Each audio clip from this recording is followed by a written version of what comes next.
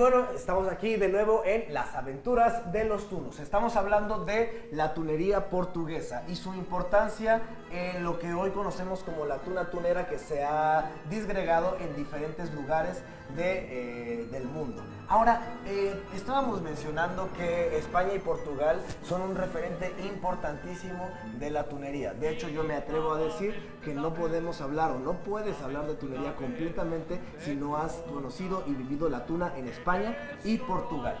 Este último país a veces queda un poco olvidado porque como en ellos en su historia no se dio todo esto de correr la tuna, andar viajando, pegar el parche, eh, pues queda un poco olvidada. Pero es muy importante que tú, si eres alguien que está interesado en aprender acerca de la tuna universitaria, de conocer todo acerca de esto, sin duda alguna necesitas visitar Portugal y vivir la tunería como se vive en ese país. Así es, y bueno, también aceptar y ver la diferencia que hay entre estos dos países que dan eh, esta bonita tradición de la tuna, el cual pues obviamente no se, no se daba en Portugal de correr la tuna porque la, universidad era cara, los estudiantes eran ricos y pues no tenían la necesidad. Y además de eso las distancias entre la universidad y los sitios donde vivían estos estudiantes eran demasiado cortas podemos mencionar que Coimbra es el punto de encuentro o es el punto de inicio de todas aquellas tradiciones de la antigua universidad, ya que Coimbra tiene una de las universidades más antiguas de Europa. Ahora, cerca de Coimbra, al norte, está Porto U Porto, y ahí también se ha dado un referente muy grande del Tuna Universitario. Por otra parte tenemos la capital que es Lisboa, en donde posteriormente también se desarrolló lo que es la Tuna Universitaria. Ahora, el uso de la capa y el traje es diferente al que usamos en la Tuna Universitaria española. Por ejemplo, yo ahorita llevo la capa de, a manera de uso portugués. ¿Cuál es la diferencia aquí? Primero, eh, podrá ser una capa similar pero debe ser algo parecido a una capa escolar. Aquí tengo yo los parches y en la tunería portuguesa se usan los parches al revés. Aquí podemos ver que este es el derecho de la capa y este es el revés. Aquí vemos la, etiqueta.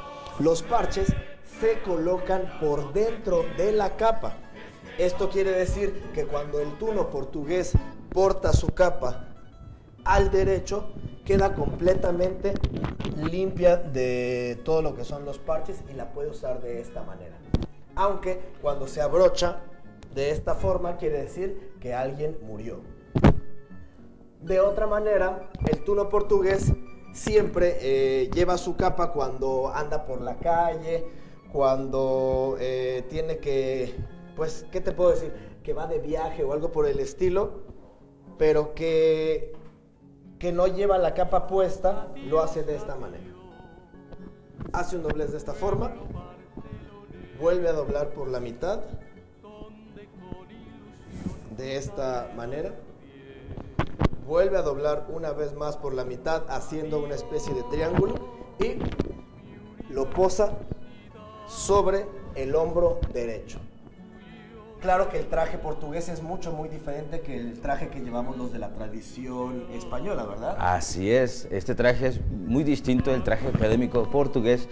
Consta ah, eh, de pantalón de vestir, de vestir negro, una camisa, camisa blanca, camisa blanca, un pequeño chalequillo, corbata negra, corbata y un saco. Una batina que le llaman ellos, que es un saco largo, más o menos este, casi hasta las rodillas, y, bueno, y una capa que puede ser parecida a esta, que es la capa escolar. Ahora, cuando ellos van a tocar, hay algo muy diferente. A diferencia de nosotros, los de la tradición española, que usamos la capa atravesada, como ya nos han visto muchas veces, el portugués toma la capa, la desenreda, la voltea al revés para que los escudos queden por dentro y hace esto. Fíjate qué interesante. Le va a dar una vuelta por cada año que lleva en la universidad. Es decir, que si yo llevo tres años en la, tres años en la universidad, le voy a dar tres vueltas. Una, dos, tres. Y se da una vuelta más por la universidad, o sea, cuatro. Oh, qué genial. Y bueno, y aquellos que ah, siguen todavía la universidad y años y años y años como unos nueve o ocho años, les dan, queda como un choricito. Queda, nada más como una bufanda. bueno, una vez que ya le diste las vueltas, una por cada año de la universidad y la colocas sobre tus hombros, eh, colocas esta parte por el hombro derecho. Ajá. Y esta parte por el hombro izquierdo. La idea de hacer esto es que cuando salían de ronda los antiguos estudiantes portugueses debían de tapar todas las partes blancas de los puños y del cuello, de la época que fuera, ya fueran golas, ya fueran cuellos tradicionales, cuello, etcétera, eh, debían de tapar la parte blanca y de esta manera salían a tocar y a rondar. Entonces es muy tradicional llevar la capa así como podemos ver en la tunería de la tuna compostelana del finales del siglo XIX o el nacimiento de la tunería en Portugal en el siglo XIX, también llevaban una manera muy diferente de utilizar el manteo, lo que se llama la capa. Así es.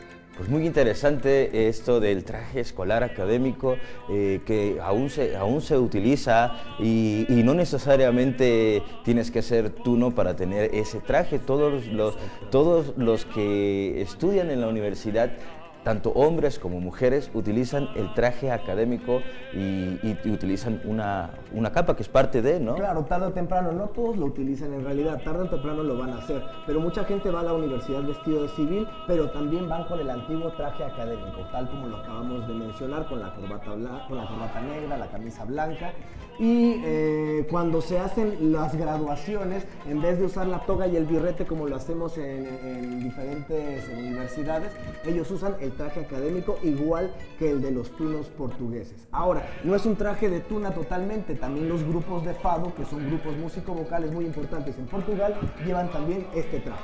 Otra cosa muy importante son las tradiciones y supersticiones que, supersticiones que tienen los tunos portugueses. ¿Sabías que si tú llevas el traje académico, el de los tunos portugueses, no puedes llevar reloj? No. No puedes llevar ningún tipo de anillo. Las mujeres no pueden llevar ningún tipo de arete los hombres no pueden llevar ningún tipo de cadena ni usar eh, lentes oscuros. Oh, Además, los zapatos deben ser de agujeta, a diferencia de la tuna española que se usa más que sean sin agujeta, el de los portugueses tiene que ser estrictamente de agujeta, es parte del, del traje académico. Y, y, bueno, tienen varias tradiciones muy arraigadas que le dan mucha forma y mucho misticismo y mucha vida a la tunería. Qué genial, interesante. Bueno, también hay que mencionar que eh, las tunas eh, portuguesas, a diferencia de las españolas, utilizan eh, cierto tipo de instrumentación. Así es, no utilizan la bandurria como en España o como en otras tunas que hay en diferentes partes del mundo, sino que utilizan mayormente la mandolina.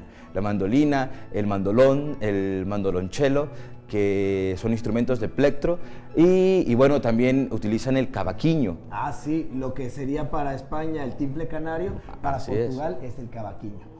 Eh, y además también utilizan la guitarra portuguesa. Este, se toca con doble uñeta y se parece un poco a lo que es la mandolina y la bandurria, pero hay una diferencia importante en el tamaño y en el sonido. Así es. Entonces, pues eh, eh, no podemos dejar de mencionar tampoco la pandereta. Los tunos portugueses bailan la pandereta también, igual que los tunos españoles y todos los demás, pero ellos lo hacen con una técnica muy rápida, muchísimo más rápida. Su, paso doble es papatos, papatos, papatos y además es muy eh, utilizan muchísimo su agilidad. Así es, son es muy rápidos. Es muy, es muy, son muy ágiles y, bueno, son muy elegantes. Realmente el baile portugués, por si acaso lo quieren investigar por ahí, eh, es muy, muy rápido y muy elegante. Y bueno, vamos a, dar paso al siguiente bloque. Claro que sí. Vamos, no sin antes mencionar a nuestro gran patrocinador, el Depo, la cerveza más fría y las alitas más deliciosas que usted pueda disfrutar solo en Tlaxcuapan, Hidalgo, México. Salida a Tetepango, usted puede encontrar ahí eh, un oasis que, tiene pues la cerveza más fría y las alitas más deliciosas. Y mm. bueno, el Depo. Nos vemos el domingo porque los tunos estamos ahí siempre el día domingo para todos ustedes. Nos vemos. Saudações, aqui de São Paulo, direto do Dedo da Chica. A Casa dos Turnos no Brasil.